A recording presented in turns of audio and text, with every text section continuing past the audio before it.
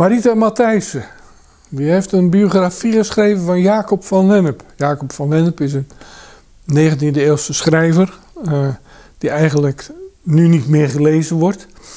Van dikke romans en verder ook nog allerlei ander werk. Een geweldige, ijverige man. Zij noemt hem een bezielde schavuit. Dat vind ik eerlijk gezegd ietsje overdreven. Want het was eigenlijk een hele keurige, nette man, nette getrouwde man. Goed, hij had voordat hij trouwde al uit een uh, verhouding met iemand een dochter. En die, maar die dochter heeft hij keurig geëcht later in zijn leven. Alleen heeft Marita Matthijs niet kunnen uitvinden van wie die dochter nou was. Welke vrouw dat geweest is. En dat vind ik een van de sterke punten van deze biografie. De meeste biografen zijn altijd geneigd om uh, te verdoezelen dat ze allerlei dingen niet weten. Dat ze niet precies op de hoogte zijn van bepaalde zaken. Maar zij is daar heel eerlijk en ruidelijk in. En dan zegt ze gewoon: dat kon ik niet achterhalen of dat kon ik niet te weten komen. Ik heb mijn best gedaan om uit te vinden wie die vrouw geweest is. Waarbij hij die dochter had, die Elisabeth van Lennep. Maar helaas, dat heb ik niet uit kunnen vinden.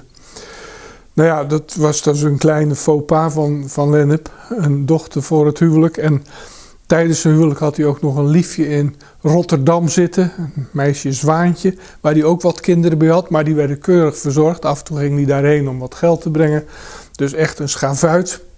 Dat valt wel mee. Als je net de biografie van Jan Wolkers gelezen hebt, van Onno Blom, dan denk je, nou, dat uh, is nog wel van een hele andere orde. Dit is een keurige man geweest.